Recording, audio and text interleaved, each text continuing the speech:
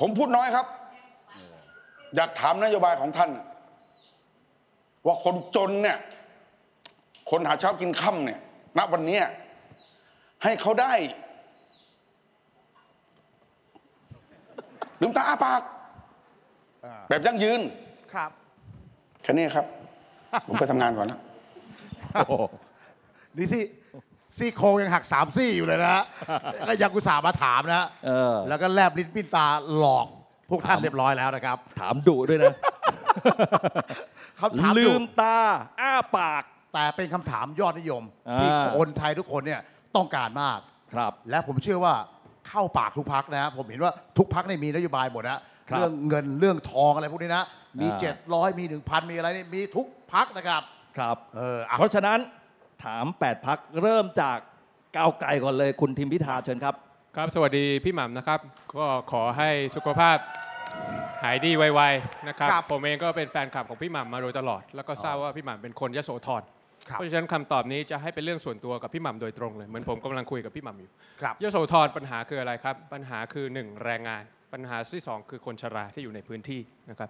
เรื่องเกี่ยวกับแรงงานพรรคก้าวไกลเราเสนออย่างนี้ครับพี่หม่ำแรงงานค่าแรงขั้นต่ำเนี่ยขึ้นครั้งสุดท้ายก็คือเมื่อเลือกตั้งคราวที่แล้ว 300 กว่าบาท แต่ว่าขึ้นมานิดๆหน่อยๆขึ้นมานิดๆหน่อยๆพรรคก้าวไกลเสนอครับว่า 450 บาท พี่หม่ำอาจจะถามผมกลับว่าทำไมต้อง 450 บาทครับเพราะว่าตั้งแต่ 300 ที่ขึ้นมาเรื่อยๆเนี่ยถ้าเอาค่าเงินเฟ้อของแพงค่าแรงถูก แล้วก็เรื่องของความเติบโตของเศรษฐกิจมารวมๆกันเนี่ยปีนี้มันต้องอยู่ที่ 440ก็พี่หม่ำครับ เพราะฉะนั้นพรรคก้าวไกลก็เลยบอกว่า 450 แล้วต่อไปนี้ให้ขึ้นทุกปี ไม่ต้องมารอว่ามีการเลือกตั้งครั้งหนึ่งถึงขึ้นค่าแรงขั้นต่ครับำครั้งหนึ่ง อันนี้อันที่หนึ่งอันที่สองพี่หม่ำทราบใช่ไหมครับว่าที่ยโสธรเนี่ยบุคคลที่เป็นคนชราอายุเกินกว่า 60เนี่ยเยอะเป็นอันดับต้นๆของอีสาน เพราะฉะนั้น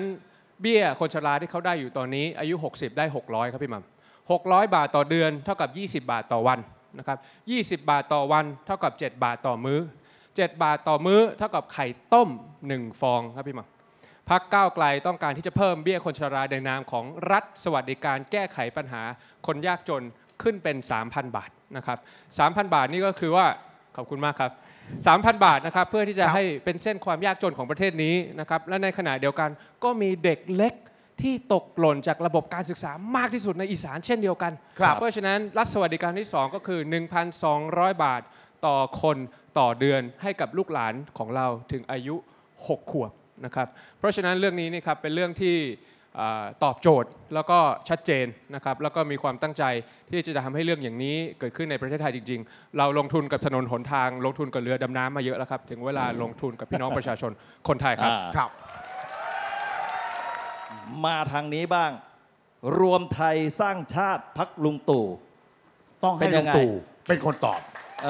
ต้องให้ลุงตู่เป็นคนตอบนะครับ ให้ลุงตู่ตอบเหรอ ให้ลุงตู่ตอบสิครับเอาเพราะเหรอว่าผมไปสัมภาษณ์ลุงตู่มาเรื่องนี้นะฮะครับเพราะฉะนั้นเรื่องนี้เดี๋ยวขอถามสิทธิ์จากหม่อมปืนฮะให้ลุถามงหมอตู่มตอปืบนถามหมอมปืนได้ก่อนไหมยอครัมบไหมยอมไหม ก็คงต้องยอมอ่าเพราะฉะนั้นสองนาทีจากนี้ไปของรวมไทยทั้างชาติ ให้ลุงตู่เป็นคนตอบนะครับครับ เราไปฟังครับว่าลุงตู่จะตอบว่ายังไงนะครับการแก้ปัญหาความยากจนรายครัวเรือนเพราะว่าดูต่างประเทศเขาทำครับเขาใช้เวลา อยู่นานพอสมควรแต่เขาเขาคนละคนละระบบนะครับ ก็คงไม่ต้องเอ่ยชื่ออะฮะฮะเขาเขาสามารถที่จะทำแก้ปัญหาความยากจนให้ได้เร็วเร็วมาก แต่เขาเขาควบคุมได้ทุกอย่างไงครับถูกไหมเราเราไม่อยากจะทำแบบนั้นทำไม่ได้ เพราะเราเป็นสไตล์อีกแบบหนึ่งครับเราก็ใช้วิธีการวันนี้เราก็ตั้งเขาเรียกว่าคอจพแก้ปัญหาความยากจนนะแบบพุ่งเป้าไงครับนี่เราทำมาแล้วนะอืมไปสำรวจทุกจังหวัดทุกพื้นที่ทุกตำบลทุกอำเภอว่ามีความ มีประชาชนที่มีรายได้น้อยกว่าต่ำกว่าเส้นความยากจนเนี่ยต่ำลงมาเนี่ยนะที่ต่ำลงมาข้างล่างเนี่ยนะเท่าไหร่บัตรสวัสดิการบ้างบัตรสวัสดิการนะเขาดูว่ามันมั่นคงครับอันนี้ผมก็คิดว่าเออเราก็ปรึกษากันว่าจะต่อยอดตรงนี้ได้อย่างไรครับเพราะฉะนั้นก็เอาพิจารณาที่ว่าควรจะเพิ่มเท่าไหร่ก็ปรับตรงนู้นตรงนี้มามันก็อาจจะมันก็คงจะได้พันหนึ่งอะครับคราวนี้เขาคุยคุยคุยกันต่อคิดกันต่อไอ้ไรพันเนี่ยไปทำอะไรได้ก็นี่ไงเป็นเงินที่ที่ประชาชนมีอยู่แล้วทุกเดือนใช่ไหมครับ ก็สามารถน่าจะไปเป็นค้ำประกันเงินกู้ของเขาในอ่าสักหมื่นหนึ่งอะไรอย่างเงี้ยอ๋อใช่ไหมครับเขาก็มีตรงนี้สำรองเพราะปกติแล้วไม่ค่อยมีหลักทรัพย์กันไงครับมันก็กู้เงินด่วนไม่ได้นั่นแหละอ่าคือปัญหาของเราครับของเขาครับค่าแรงวันนี้เหรอครับต้องลองฟังภาคธุรกิจเขาพูดดิครับนะเห็นเห็นเจ้าอะไรรายรายใหญ่ก็พูดแล้วบอกถ้าขึ้นหกร้อยเมื่อไหร่ย้ายทันทีอ่าไปอยู่ขึ้นหกร้อยไม่ได้ไม่ได้แต่ลุงตู่ขึ้นเท่าไหร่ลุงขึ้ตู่นคิดว่าขึ้นได้เท่าไหร่ไม่ไม่ตอนนี้เขาขึ้นมาแล้วเขาขึ้นตามลำดับครับอย่าลืมว่า ค่าแรงงานเนี่ยมันให้ทั้งมันเป็นแรงงานให้ทั้งคนไทยและคนต่างด้าวนะครับเพราะฉะนั้นคนทำงานตรงเนี้ยมีคนต่างด้าวเยอะมากกว่าคนไทยเด้อถ้าขึ้นก็ขึ้นหมดเลยเออถ้าขึ้นเขาก็ขึ้นหมด วันนี้ครับเราก็ภาระเราก็เยอะพอสมควรในเรื่องการดูแลสุขภาพเข้าอะไรเข้าต่างๆไปด้วยนะครับคราวนี้เราก็เพิ่มของคนไทยได้อย่างไรอะเพราะฉะนั้นคนไทยต้องมีการพัฒนาฝีมือแรงงานเป็นแรงงานที่มีฝีมือ อ่าเป็นไงฮะครับ